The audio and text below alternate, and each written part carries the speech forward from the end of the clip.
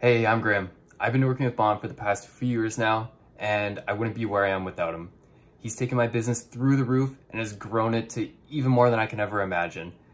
I'm excited to keep working with Bond and expanding my business even more. Thanks, Bond.